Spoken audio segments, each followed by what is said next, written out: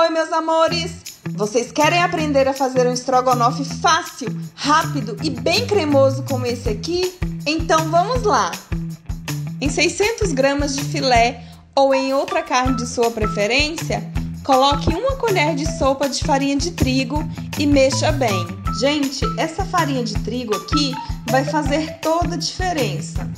Coloque em uma panela um quarto de xícara de azeite de oliva juntamente com a carne.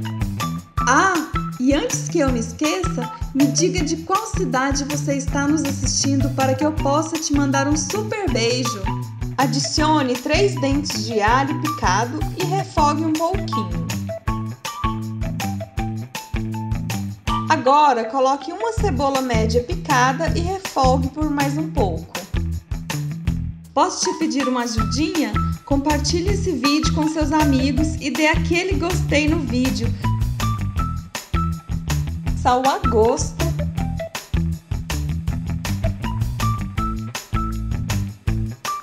Vamos acrescentar meia xícara de molho de tomate e mexa novamente.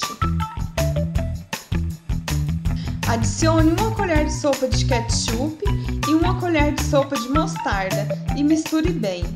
Pessoal, o ketchup e a mostarda que dá aquele gostinho saboroso do estrogonofe.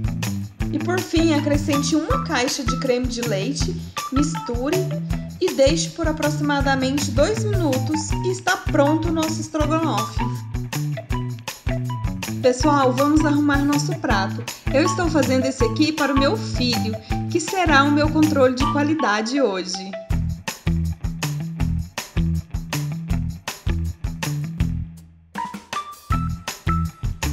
Olha só, gente, como ficou o nosso estrogonofe.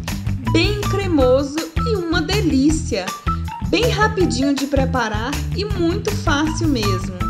Para acompanhar nosso estrogonofe, vamos de arroz branco com batata palha e um pouquinho de cheiro verde. Olha que lindo, gente! Amei esse estrogonofe. E vocês? Porque eu gosto dele assim, bem cremosinho.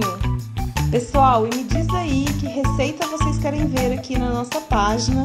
Eu fiz esse estrogonofe hoje porque alguns de nossos seguidores vêm pedindo há algum tempo. Vou chamar meu filho agora que não para de perguntar se já está pronto, doido para comer. E olha aí o nosso controle de qualidade aprovando a receita. Então até o próximo vídeo. Tchau, tchau!